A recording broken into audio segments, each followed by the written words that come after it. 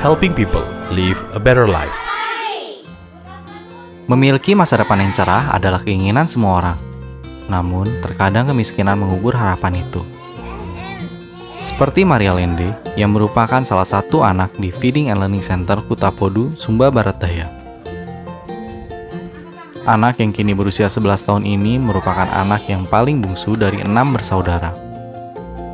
Tinggal bersama keluarga di rumah yang sederhana membuatnya harus menjadi anak yang tangguh. Ia harus melakukan pekerjaan rumah seperti memberi makan ternak, menimba air, dan memasak. Sebelum Tangga Pengharapan hadir di desa ini, Maria merupakan anak yang jarang masuk ke sekolah, dan ia bukanlah anak yang berprestasi. Namun, feeding and learning menariknya kembali untuk rajin datang sekolah dan menimba ilmu. Materi yang diberikan oleh guru-guru tangan pengharapan membuatnya semakin suka untuk belajar.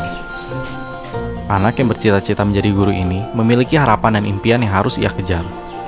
Usahanya pun tak pernah sia-sia. Maria meraih peringkat dua pada ujian kenaikan kelas. Kini ia semakin semangat untuk meraih impiannya. Ia sadar bahwa kemiskinan bukan menjadi penghalang baginya untuk memiliki hidup yang lebih baik.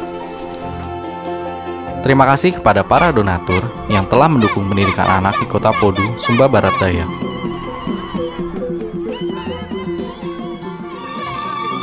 Kiranya uluran tangan kita dapat memberikan harapan bagi anak-anak pedalaman untuk dapat meraih impian dan memiliki hidup yang lebih baik.